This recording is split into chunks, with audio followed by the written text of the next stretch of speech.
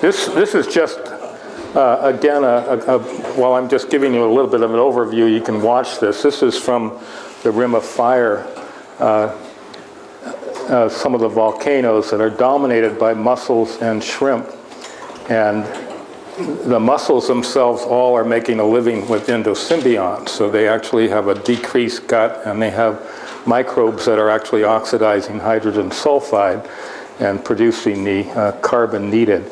And a ton of the shrimp are feeding sometimes off of the microbial biofilm that grows on the shells of the mussels and anywhere else. So, but it's a very unusual to see in the deep sea that, that kind of uh, dominance. And I thought I'd show you one other weird organism, which is appropriate before dinner, which is it is how a shrimp can actually avoid being eaten uh, by a fish by actually vomiting out a luminescent. Uh, so this is this is kind of a cool strategy. I'm I'm trying to get that genetically engineered into me. I, you know, so it hasn't happened yet, but there's hope.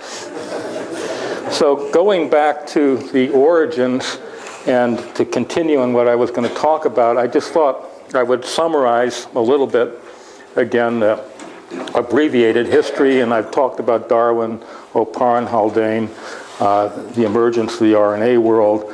Uh, some of the other, uh, in the 1980s, uh, the late Leslie Orgel was very much into uh, the RNA uh, world and really believed that RNA not only preceded but actually led the metabolism. So it's very, very different from the metabolism people. Freeman Dyson actually has a very different kind of view. Uh, you know, as, as a non-biologist, you can see non-biologists think about origin of life also.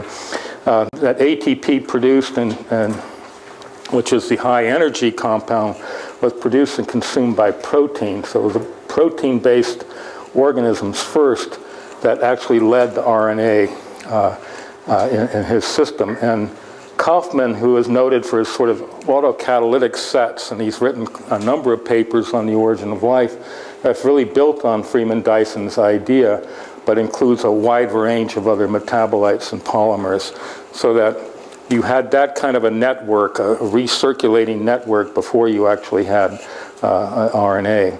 And then I think the, the, the metabolic reaction and the metabolism first really came about in, the really amazing set of papers that came out in the late 1980s and uh, early 1990s by Günter Wächtershäuser. And, and he was the first to really uh, model the origin of life uh, primarily based on pyrites and hydrothermal vent conditions.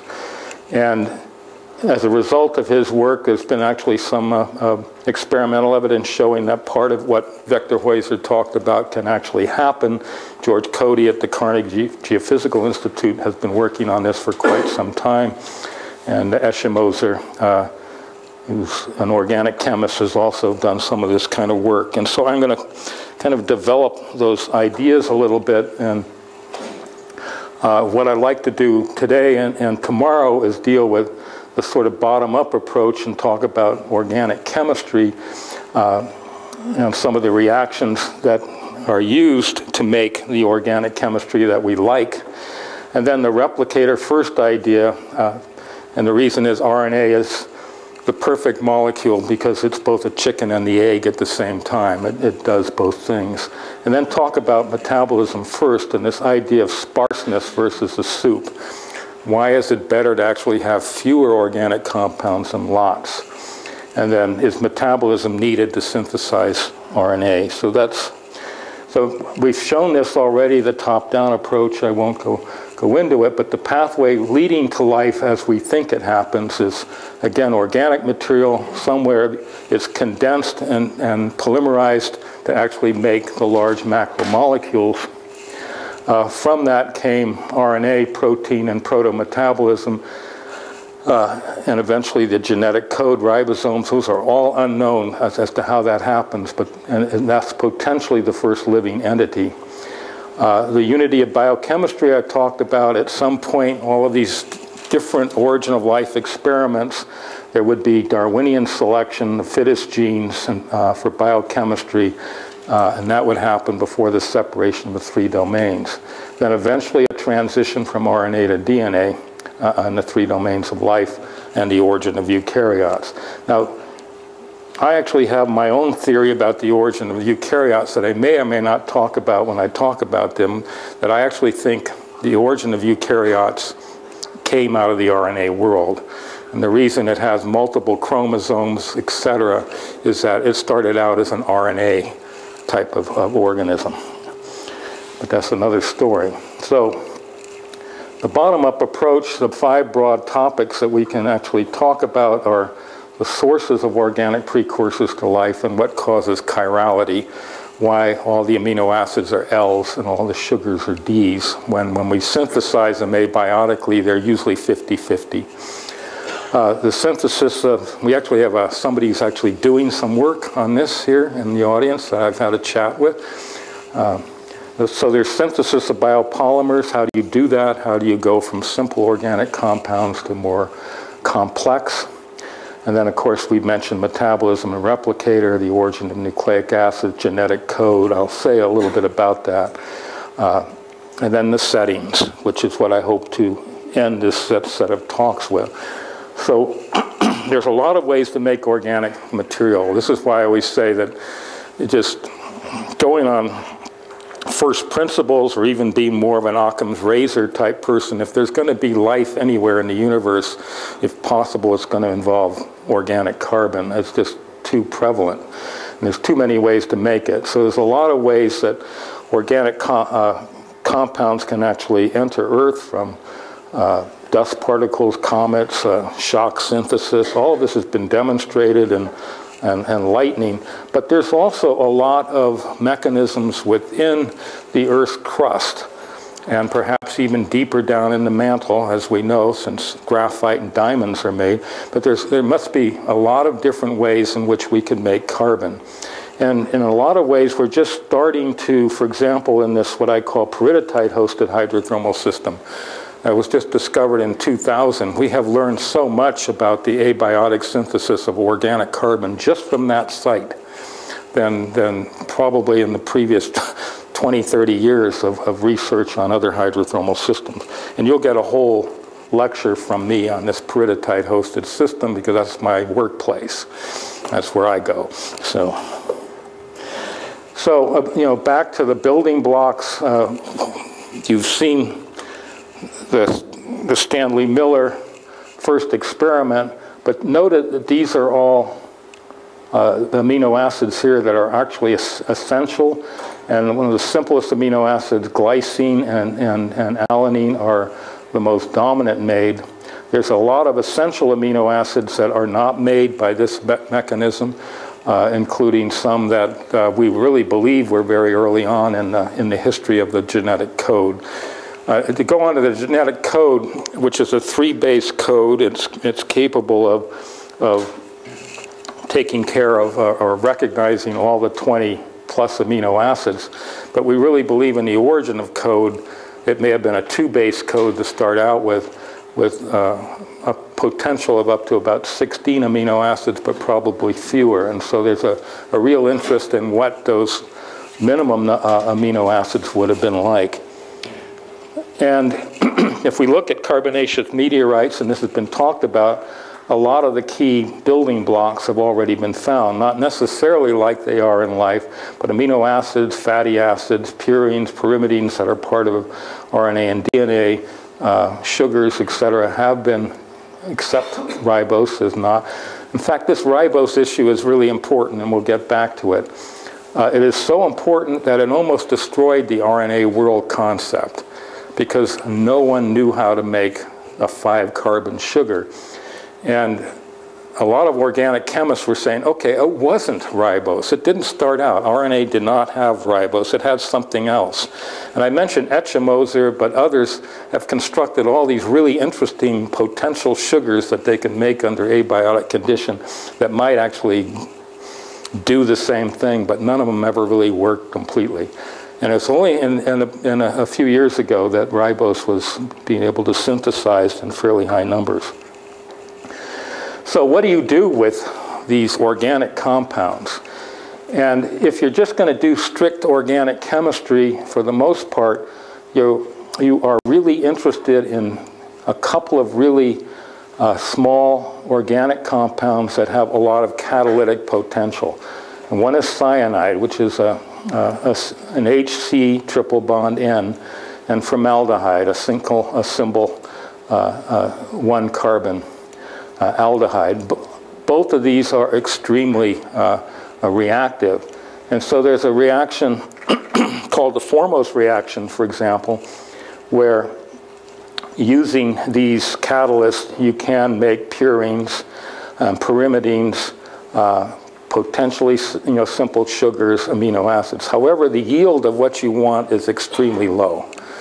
Uh, it's one of the problems with these. And also, to run the formose reaction, it, there are steps, if you're an organic chemist, there are steps to do these reactions that are under conditions that have never existed on Earth.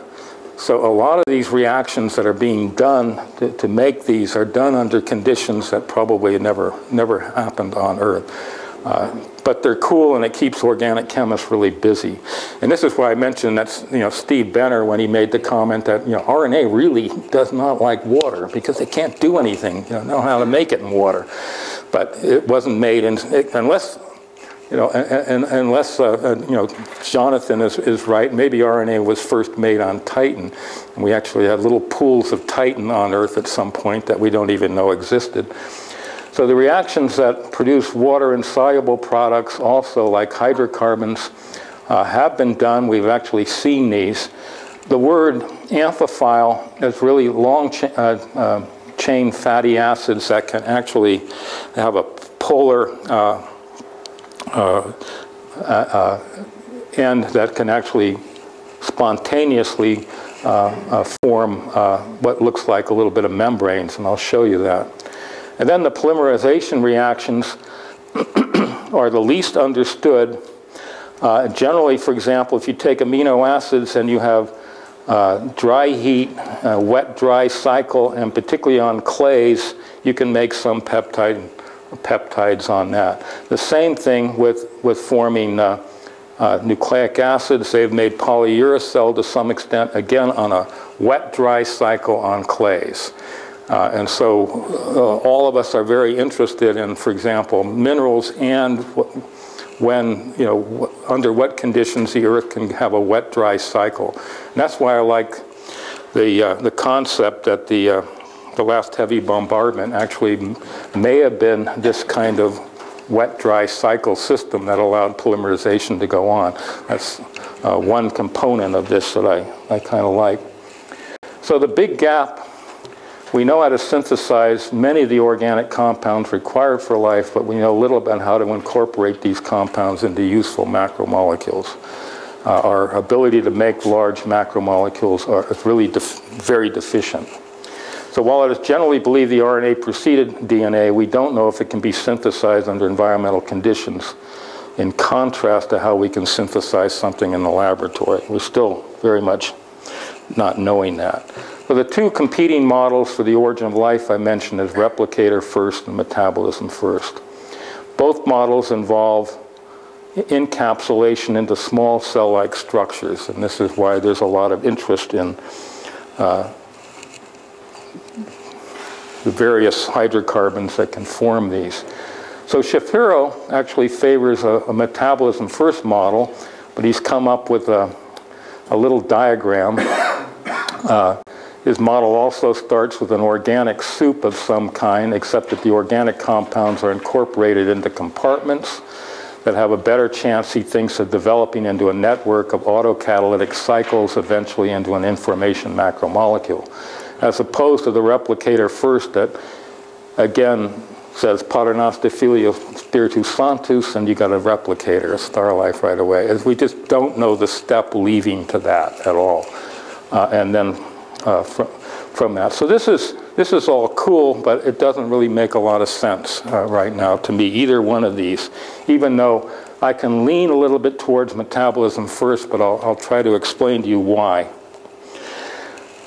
The Shapiro builds on an idea first discussed again by Freeman Dyson and summarized in one of his famous quotes, life began with little bags, the precursors of the cell, enclosing small volumes of dirty water containing miscellaneous garbage. So this is This is how physicists think. anyway, it's descriptive. So the replicator first model predicts that RNA preceded DNA, protein, and metabolism. This, this is the central dogma of molecular biology as we know it. Molecular biologists are religious, and so the, uh, Francis Crick actually coined this the central dogma. Uh, so it's, it's basically uh, DNA makes RNA, which makes protein, and there's a feedback loop that you need protein for DNA replication and RNA replication. In the RNA world, you have an RNA that, as I say, works as a chicken in the egg. It doesn't initially need protein because it can catalyze its own replication. Uh, and, and that's the, the basis, and then eventually it made protein, and you actually had a life form that was just RNA working both like DNA and RNA and, make, and, and transcribing into protein. So the RNA world, which I say is a very compelling model on a lot of different levels, is the all-purpose molecule.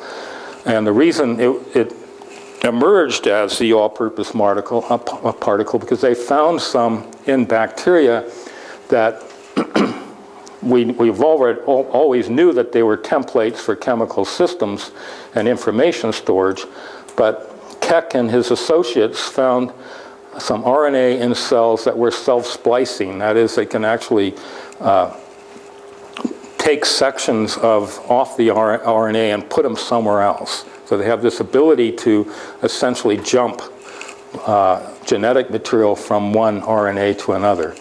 Uh, they're also, in some ways, self-reproducing, but not completely. So they can actually reproduce part of the RNA sequence and of course they can make peptides. And because of this early, this early work of, of catalysis, that you actually have a, an RNA acting like a protein enzyme and an information molecule, that the RNA world became uh, the, the dominant new paradigm for thinking about uh, how life started.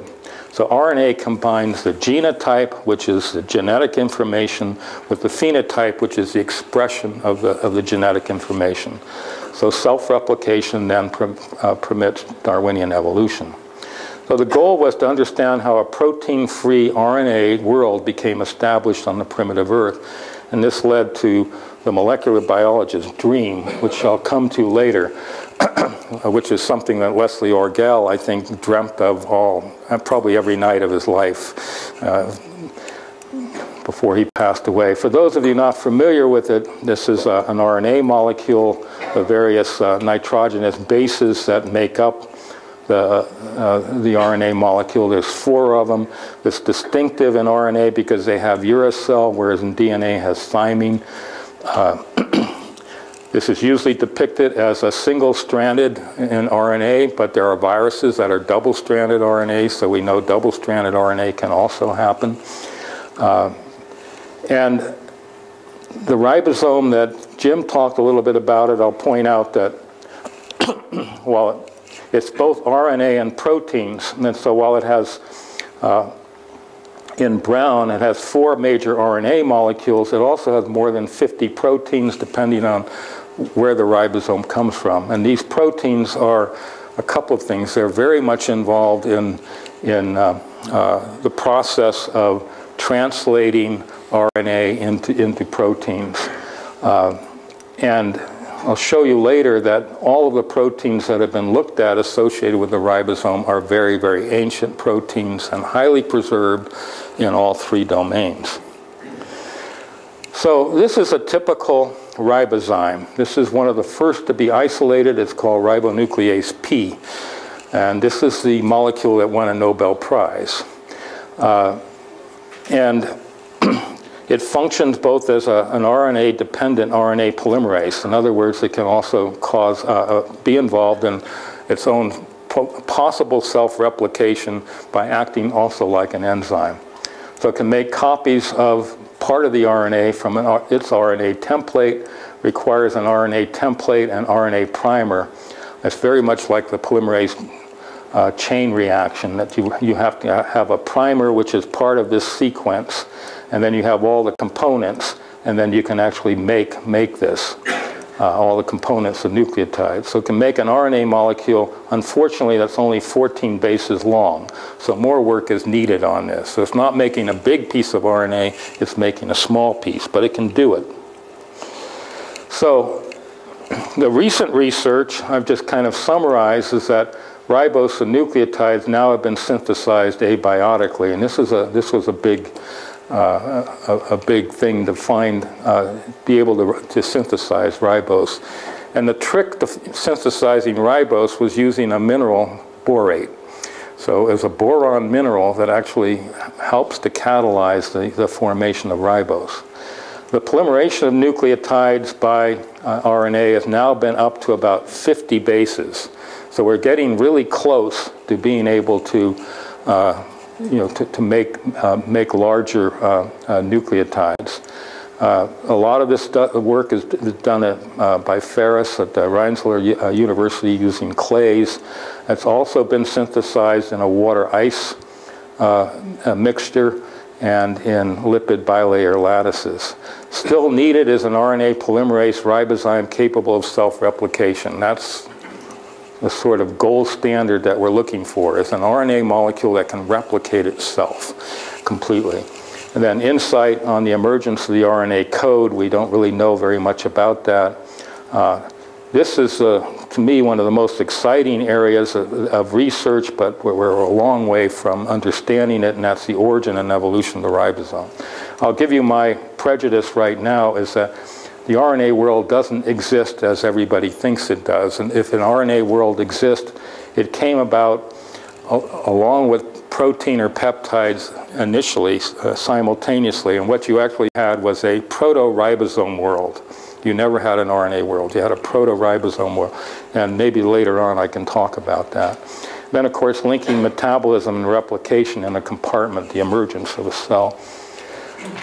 So the molecular biologist dream, this is Orgels, and I, I, don't know when he actually did this, but I've heard him say this twice now. And he's passed away in, in 2008, and so I thought, in commemoration of one of the brightest people I've ever known in my life, I thought I would tell you about how he dreams, so that you know how scientists dream.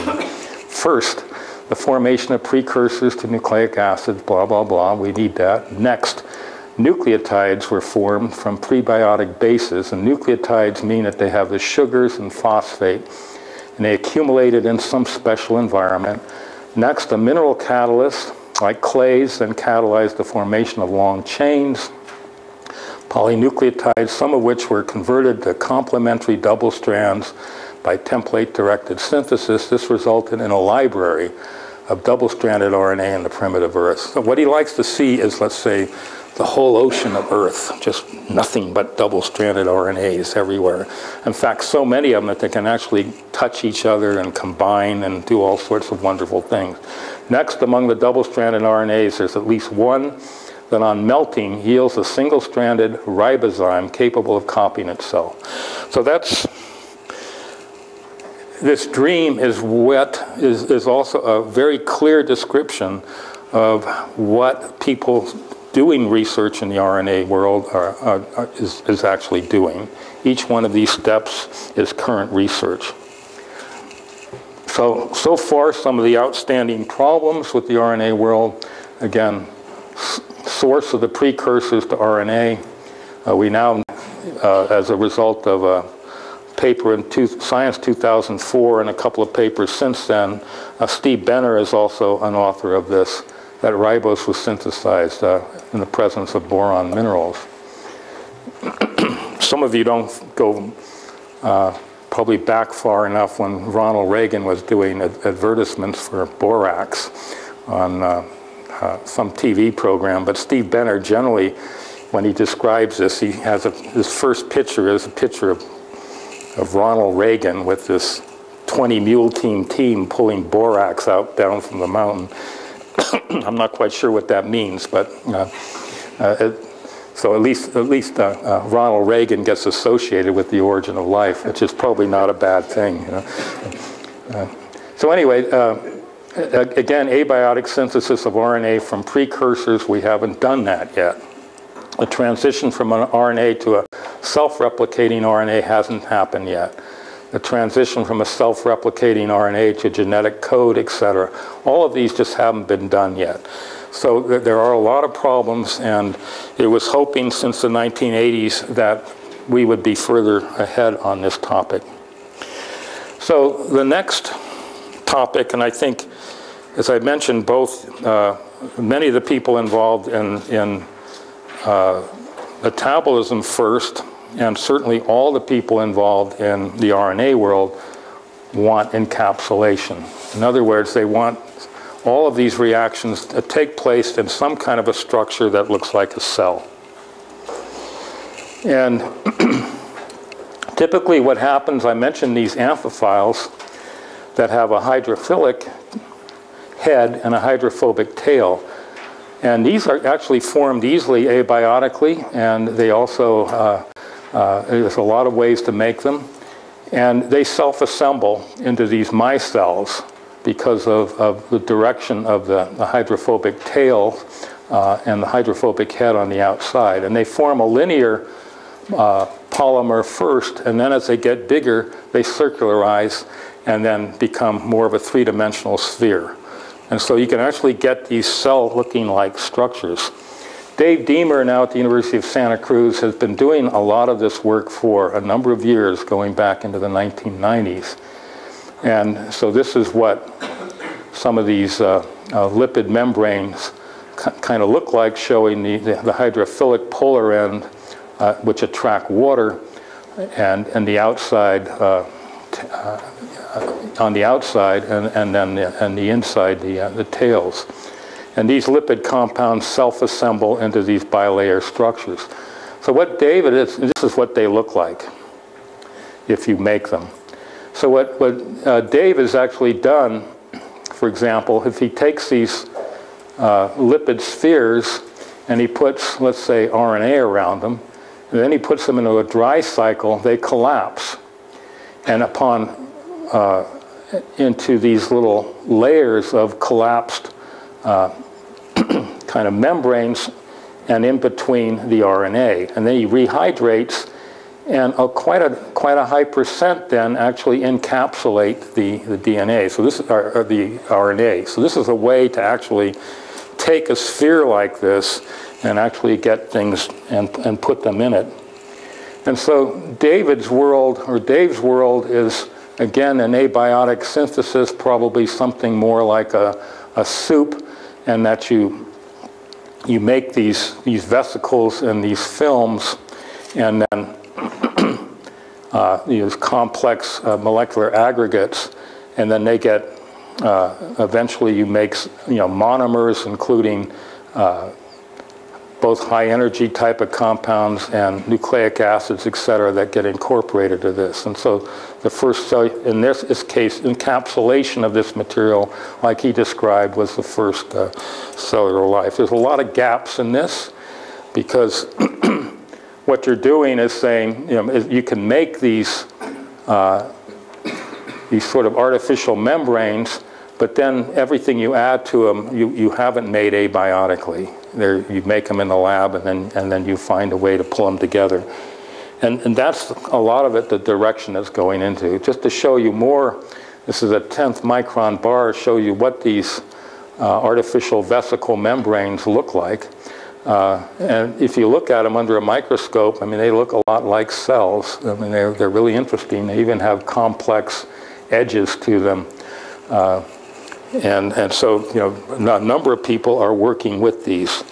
And probably the, some of the most interesting work being done is done by, by Jack Szostak. Uh, and Jack, as some of you know, won the Nobel Prize last year, not for this work, but for some earlier work. So his idea is to take the, the kind of membrane rep replicating vesicle systems that uh, Dave Deamer has and try to put a nucleic acid inside of them and, and see if he can get those nucleic acids to reproduce inside of these. Uh, so he can add all the nucleotide bases, et cetera, and he's looking for mechanisms to, to get these to, to grow. And so uh, typically what happens when you add these uh, hydrocarbons to it, um, and they form these spheres. As you keep adding more and more which, of these uh, hydrocarbons to it, it forms these uh, more filamental uh, out, out, outcrops that look like this, and that these aggregate around into small circles again and eventually grow into large ones. So he has this sort of reproductive system based on a budding mechanism. It's interesting that you know a lot of living organisms replicate this way. A lot of yeast, for example, replicate by budding, um, and so he has this kind of so. Uh, so essentially, he's getting some kind of, of, of, of growth, uh, and it leads, it leads to division into daughter vesicles, which in turn can grow and repeat the cycle. So he's demonstrated that this cycle can go on. Uh, another experiment that he's done is, is that he's added DNA uh, strands uh, labeled with uh, uh, dyes, and when annealed to each other, they, they, they fluoresce. So he can actually see when it is single and when it is double. And then following strand separation and reannealing, the donor and quencher are, are separated, resulting in a high fluorescence signal. So what essentially he does is he takes double-stranded DNA, heats them, and then they come apart as you do with heat because the DNA, is, the double strands are held by hydrogen bonds.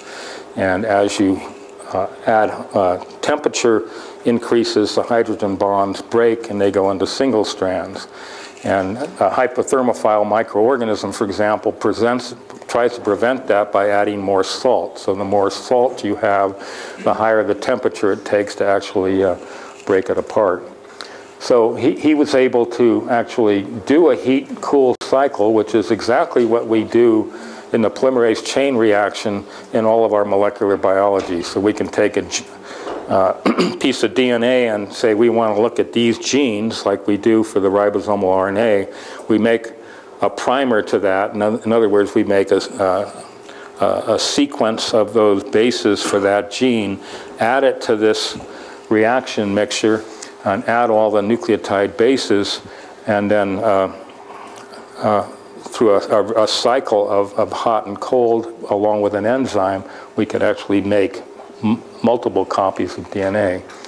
So what, he's, what he has done is a requirement for cycling between low and high temperature for nucleic acid copying and strand separation, again, strongly suggests that he's, also pointing out that this generally only occurs in fresh water and cold environments. But he's, in this latest experiment, he's found that uh, because it requires a heat system, that locally heated by geothermal activity as a volcanic region would be ideal incubation for life to get this recycling going. So what he'd want is something that it goes from hot to cold. So it's exactly what we do in the polymerase chain reaction. So that Szostak now, and now Dave Deamer, as a result of this work, now actually think that volcanoes may actually be important in the origin of life, what they didn't before.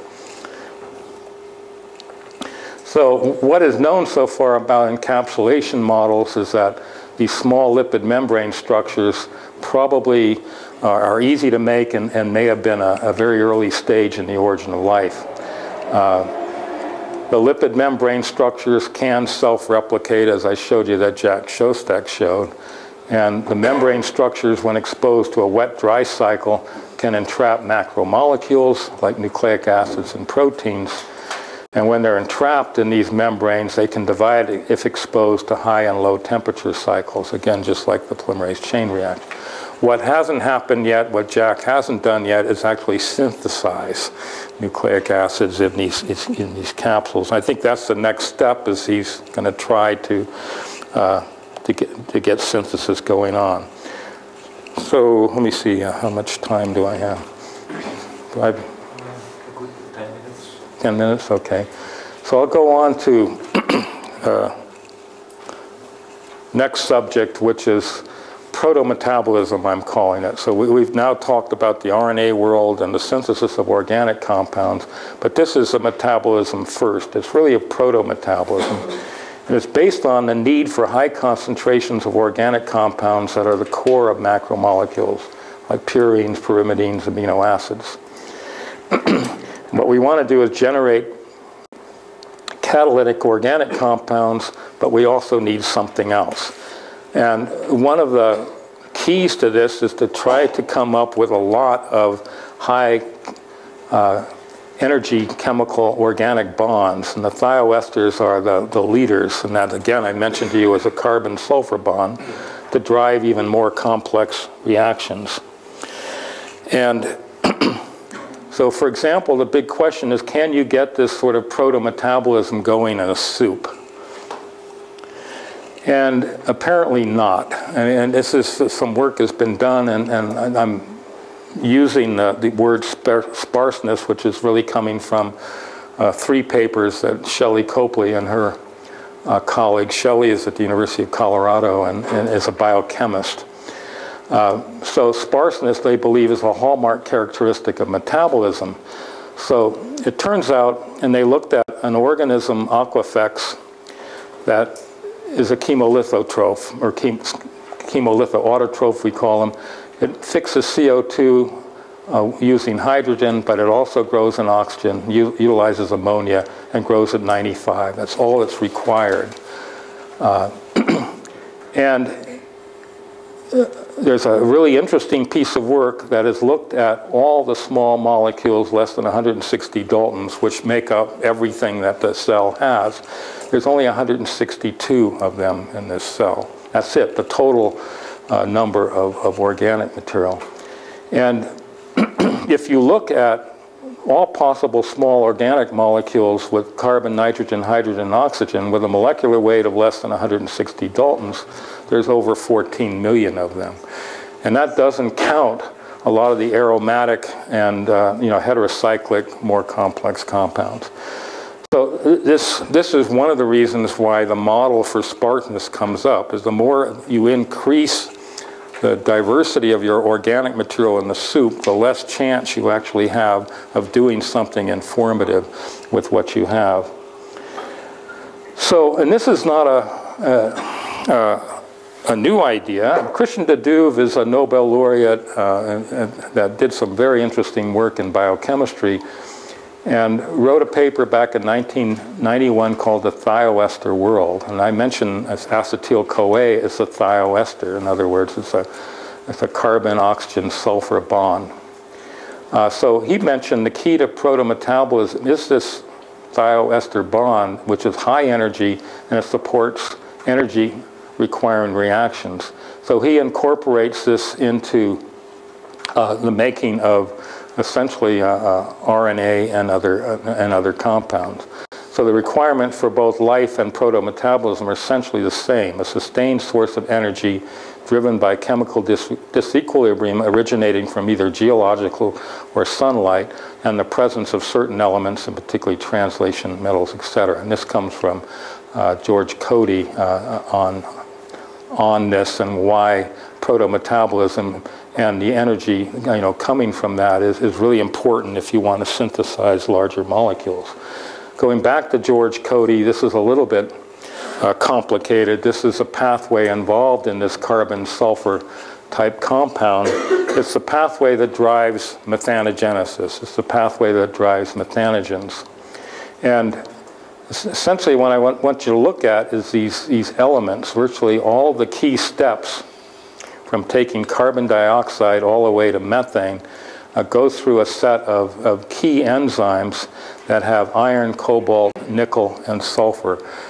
And what's interesting is that some findings from the enzymes at the heart of this pathway, uh, for example, carbon monoxide dehydrogenase, acetyl-CoA synthetase that makes all this, all indications are that biochemists have determined that the metals and the metal sulfides do all the biochemical work. In other words, all the catalysis is at the, is at the metal site, not at the protein site. What the proteins do today basically is, uh, is create greater specificity in the activity, but not the catalytic activity. So this is, uh, as I say, a very, very important component of this is that you can actually have a pathway that many feel is the probably the earliest metabolic pathway to emerge on Earth. It's a pathway that all the enzymes involved in it are oxygen sensitive, so it can only work in an oxygen negative environment. It relies very, very heavily on a lot of metals. Uh, and its key organic, the key nitro, I mean, the key compound that has most of the, that generates most of the energy is this acetyl-CoA, and that's the, name of the pathway. And just to show you from CO2 uh, to, to, to methane, uh, the, the, various steps, uh, a lot of the key steps involve uh, uh, a variety of, of, metals, selenium, tungsten, uh, iron sulfide, zinc, cobalt, uh, iron and nickel or uh, manganese are all involved in these, this enzyme transition. This is the case of a pathway that just is shouting out to us that you know, it, it, it evolved off of membranes, I mean, evolved off of minerals. And so the presence of, of a sustaining chemistry generating system, uh, uh, uh many people think preceded RNA and, uh, uh, instruction and new evidence supporting some kind of proto-metabolic uh, has also come about. And this is a complicated piece of new evidence. I, am sort of putting on my little biochemical head here, so I know this is really a stretch. But this is, I think, a, a, very, very important paper. The first paper came out in 2007, and since then they've done some interesting models. And what they have done, uh, and I'll show you how they've done this, uh, the method that they use indicates that modern metabolism involving even proteins originated uh, in the metabolism of nucleotides. In other words, the, the, first thing that the cells actually did when they became cells was to make the components of nucleic acids. Uh, and so it's essentially a, uh, early metabolism. So the first enzymatic takeover of an ancient biochemistry or prebiotic chemistry involves processes related to the nucleotides for a world in which RNA was the only genetically encoded catalyst. Uh, and the way they did this, again, as I pointed out, modern metabolism developed very early at the onset of protein discovery, and it has and the way they did this is really phenomenal. I know this is complicated, but I didn't know this at the time I read this paper. I didn't realize that of all the proteins that we have, they undergo more than a thousand folds. There's more than a thousand different folds that proteins can go into. And what they've done through a lot, and they also point out here that the protein structure is actually much more highly conserved across the diversity of life than either sequence, like we do in RNA, or function. So a phylogenetic tree of all known protein folds they have constructed, and it, it is apparently one of the most robust ideas of what is, what is primitive. This is what a protein looks like, and a, and a P-loop, we would call that, and this is one of the ancient folds.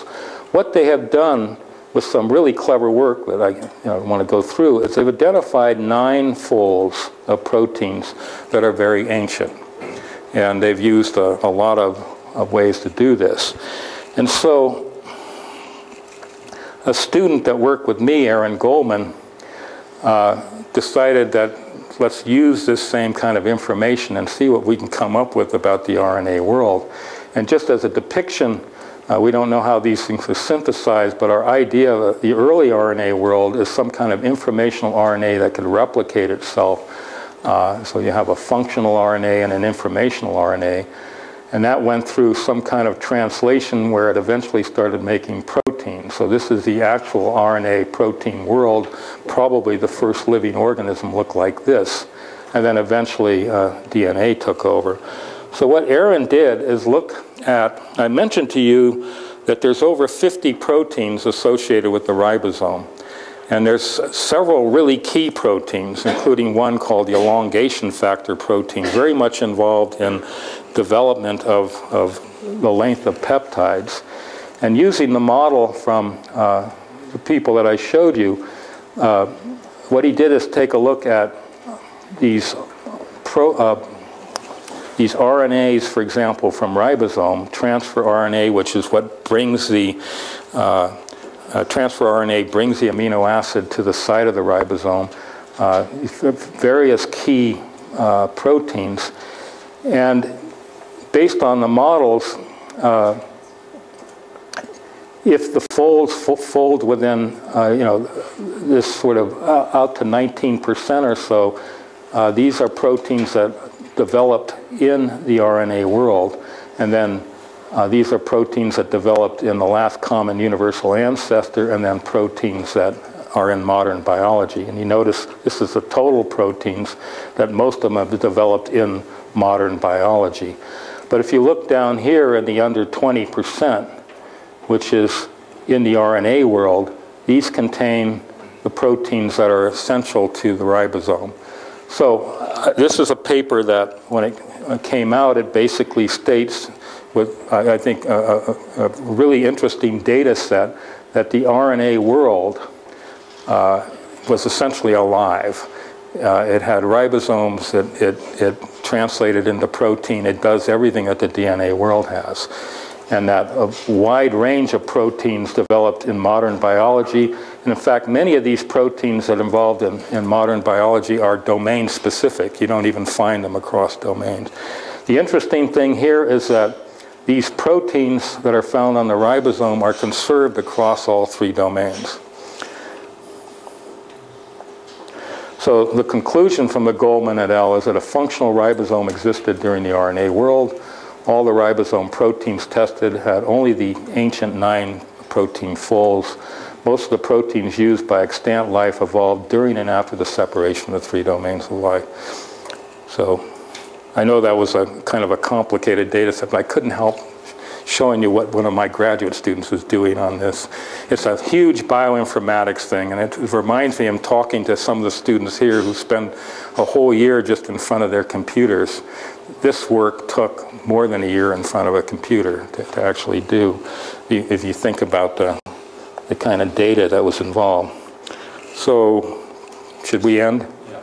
Okay, so I'll start uh, tomorrow what is the origin of the metal-dependent metabolic pathways and, and talk about how those are synthesized.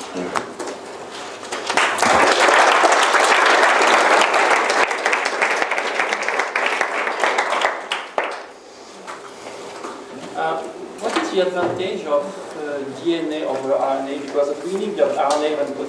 And then you add amino then there is DNA. So what is the advantage for life? That's, that's a really good question, and it's one that, that, that, that we hear quite a bit about, is that a couple of things is the ease in which you can actually get a double-stranded DNA. and RNA, it tends to fold almost like proteins. As you make the RNA, will fold into sometimes uh, uh, configurations that you can't do anything with. Secondly, as a result of, you know, the folding and the, uh, the twisting that a double-stranded DNA can have, you can actually have very long lengths. That, so in an RNA world, and we'll talk about it later, I think the RNA world was actually uh, uh, had limited nucleic acid potential. So it's something I call uh, pre-cell community, where you actually had lots of little minimal cells that had uh, a little bit of genetic information with RNA, but together they formed a community that acted like a cell, sort of a multicellular aspect of it. So DNA really allows you to do a lot of things that, that, that you couldn't do. Uh, build a, a large chromosome and, and actually keep it from folding into nonsense. Yeah. Uh, concerning the process of encapsulation of RNA uh, favored by uh, sites of wet and dry phases. Is there any chance that this or a similar process is, work, is at work in hydrothermal events? It's a good question too, and it's uh, I've, I've, been asked a lot about, particularly when I talk about uh, the the origin of life, potentially events or various steps, and this is still going on. The problem is there's life there. Life doesn't allow any of this stuff to happen because it eats it. And so while it may still have the potential, you know, if we can remove all life from it, we, we might be able to see some really interesting things. But because life is everywhere, it just consumes things. So it really muddles up whatever experiment could have taken on. But it's a really good question, and it's one that has led at least two labs that I know of to say, let's, let's make a hydrothermal vent in the lab so that we can actually do this kind of work in the lab. So what you said about protein folding and how you can use that to say something about early life seemed really interesting, but I must admit that I, I'm not really sure if I was able to follow the reasoning behind that. So I was wondering if you could go over that briefly and perhaps also explain the axes on the plots that you had. I wish I could go over it briefly. The model is really complicated and it's done by uh, the same authors and, and one of his postdocs, Wang. Um, to put it simply, what they have done is take a look at a wide, what, what proteins are found in all life forms, what proteins are found only in certain organisms, and take a look at those and see then uh, if the ones that are found, which ones are found in all life forms actually have these certain uh, uh, nine, nine folds.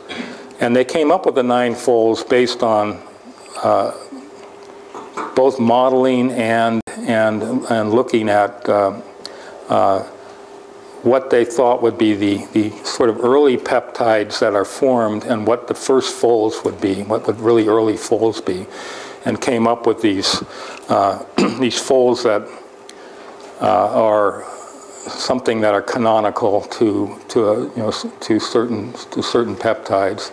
Other folds uh, aren't even present until you get really complicated proteins, what we call multiple domain proteins that actually have lots of complication. I mean, I was, I, again, I admit I was blown away that there's over a thousand folds in proteins. Uh, that just took me by surprise uh, as soon as this came out.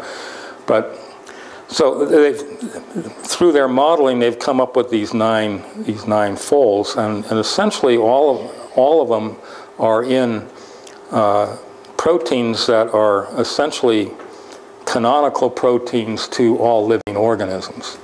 And their first paper was that uh, certain key metabolic proteins that are found in, in every organism, because they're involved in the synthesis of nucleotides, are the ones that just are dominated by these folds. And that's why they came up with a conclusion that some form of metabolism involving proteins came even before the synthesis of RNA. So, which is kind of an interesting conclusion. Since then, they've really refined their model. And what Aaron did was actually take the model of separating uh, their model about what came out in the uh, RNA world versus LUCA versus uh, modern. And you know, he used that. What was phenomenal though, and when he did his analysis, we were going to work on just one protein. And it's a protein I'm going to talk about again, uh, because I think Jim stimulated me to talk about this, so he doesn't know this yet, but the, the elongation factor protein on the ribosome uh, is one that was uh, isolated and then through modeling came up with what they thought would be the sequence of the first of the elongation factor proteins that evolved. Now, elongation factor proteins are all ribosomes, and they're very much involved in, in uh, producing long chain peptides. And so what these people did is they came up with a, a, a protein sequence that was at the root of all the proteins that are elongation factor proteins. And they took that uh, made, made a gene to that and added it to E. coli. So E. coli can make hundreds of thousands of copies of it, of that gene protein for them, took the protein out and found that its optimum temperature for working on the ribosome was 73 degrees Celsius. Now this was shocking when this happened because one of the authors is Steve Benner who always believed in a mesophilic origin, or an origin around 30 or 40 degrees, and he was Huh? Elongation factor protein, the earliest perhaps ribosome functioning at 73 degrees was the implication. And so it's that piece of work that stimulated us to go after uh, not only the elongation factor protein, but all the other proteins in the, in the ribosome and see if in fact they were ancient, and they are. I mean, they're, they're really, all indications are they're, they're very ancient proteins. But uh, I'll get back to. I don't know what, what you think about the, the right uh, that work. Well, I know this. What's the first author's name?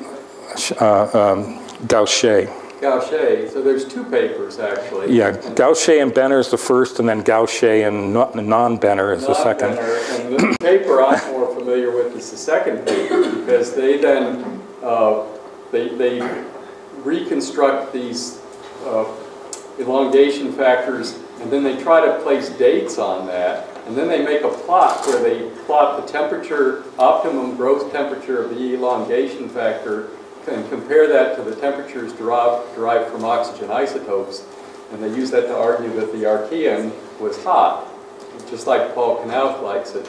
And, you know, I already said I don't think that's possible because there was glaciation. So, so- so here's, here's the point, however, there's, there's some couple of different things.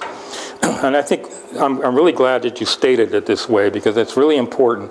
There's one thing about talking about global temperature, about ocean temperature and atmosphere. It's another thing about talking about hot spots. Now, you can actually have the origin of the first microbial community occurring at 70 degrees, even though the overall ocean was 30 or 40 degrees. The point is, we have to be careful when we, when we, we say, okay, all our models show an atmosphere and an ocean is such and such, uh, temperature of being moderate, but we had all kinds of volcanic and hydrothermal activity in the subsurface. And if we assume that some of the earliest communities developed there, then yes, it could have been at 70, it could have been at 50, it could have been at 80. That's the part that, it- so his work may actually be true, but I agree, the second paper, uh, and I remember that curve, I actually have it, I might show that at one of these times. I'll show it. Yeah, so you can, you can show it as a temperature curve, but he, they generalize about it as being, you know, what the, uh, you know, what the overall environment is. And I argued right away at, at that, that that may only indicate that, uh, you know, the earliest community uh, of, of microbes actually existed in some narrow environment that was actually hot, not necessarily a, a global ocean or anything. So that's, so anyway, it's a, it's a good question. Why do you infer that the temperature it has happened must be the, the, the optimum one? Perhaps there is just one way of doing something and uh, this way is not optimal. Yeah, that's, that's, uh, could be, yeah. I don't really know how to answer that, yeah.